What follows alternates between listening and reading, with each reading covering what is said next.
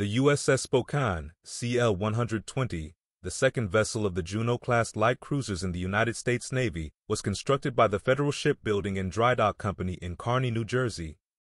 Launched on September 22, 1945, and commissioned on May 17, 1946, Spokane underwent shakedown operations in Guantanamo Bay, Cuba, and engaged in battle practice and weapons firing before being assigned to the Second Fleet for European duty.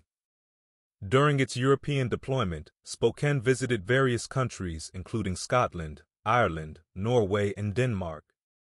After returning to the United States via Portugal and Gibraltar, Spokane underwent fleet exercises in Guantanamo Bay and yard availability at the Brooklyn Navy Yard.